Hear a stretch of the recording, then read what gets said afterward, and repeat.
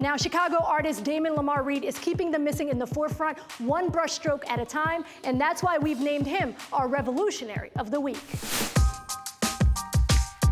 It was something that I knew that I had to do. That's when I came up with doing these portraits because sometimes we may, you know, see an image, you know, hey, a woman is missing, or, you know, you see like an Amber Alert and you kind of just, you know, breeze past it. Artist Damon Lamar Reed uses beauty to call attention to a tragic epidemic that too often goes unseen. Something that would draw people in, then, you know, they would take a look at that and then want to, you know, look further like, okay, well, that's a beautiful portrait. You know, tell me more about that or let me find out more. It's a project that's personal for the Chicago native, inspired by his family's experience and loss. My aunt Valerie, my cousins Shanti and Wei Wei, who were they were murdered back in 1982, and the, the you know the killer was never found, never prosecuted.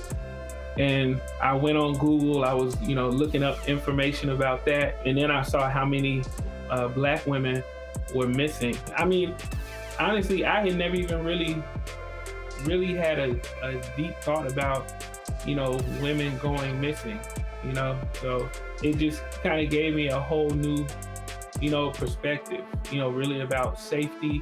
You know, I myself, I have two daughters. You know, I was talking to my wife about, you know, starting a new series of paintings.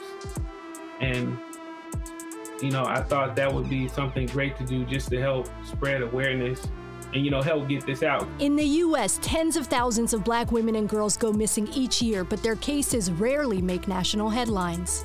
Lamar's work focuses on women of color from the Chicago area. Many have been missing for decades. Painting uh, missing women, I guess you can say it can get sad, you know, it can get, you know, deep.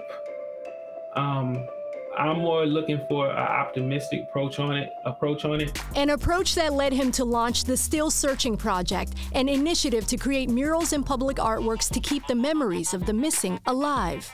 I didn't want to name it Still Missing. You know, I wanted to name it a, a proactive word and a and an optimistic word. You know, something about taking action. I began to do murals, like I said, with the with the mission and a purpose um, to actually speak for the people. That's what I believe a lot of the Chicago mural movement is about. It's the same with the, the Still Searching Project. I want to be a voice for the voiceless.